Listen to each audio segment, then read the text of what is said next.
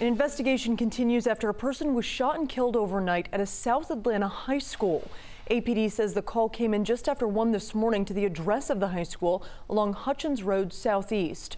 Officers found a victim described only as a man dead with gunshot wounds. No word on the identity of the victim or if there are any possible suspects tonight.